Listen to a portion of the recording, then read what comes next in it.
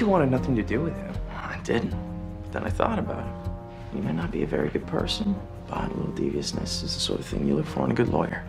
I mean, the other guy I was with, he was too nice. We buddies. We went to school together. It's time I grew up. I got a real shark. Well, I had no intention of being that way to get your business. That's exactly why I insisted that you be my point man. I want someone being devious for me, not to me.